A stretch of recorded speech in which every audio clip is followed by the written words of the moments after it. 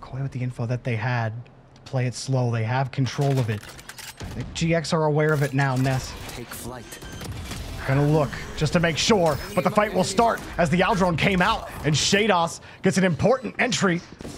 But Nico goes down on the backside, and here comes Smurfette on the Neon.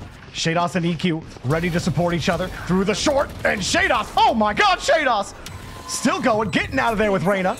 Getting back into position, trying the blind. And immediately getting back into safety, but Sheydos is not done. Tries to get the peek, Sheydos on a roll! Not quite done in this overtime, is he? Nass, or Ness, excuse me. Coming around, but do you even have a play? You do not! It's another ace! To our second overtime here on Icebox. And it was just so well played.